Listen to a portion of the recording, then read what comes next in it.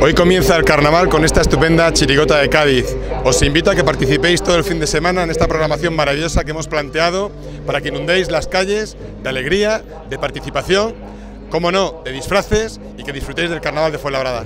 Yo lo paso chungo en el momento justo en el que voy a pesarme. Me dirijo a la farmacia de mi barrio y en el camino ya empezó a desesperarme.